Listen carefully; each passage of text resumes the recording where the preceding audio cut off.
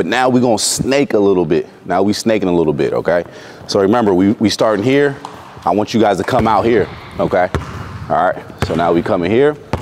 So now we snaking. So we get here. Once we get here, right? Once we get here and then we let it go and dribble that ball with the right hand, I want you to go right away over the top, right, left, okay? So we go here, then right away, boom, right, left. You can finish with whatever hand you guys want to finish with. Bring them out, bring them out for that angle.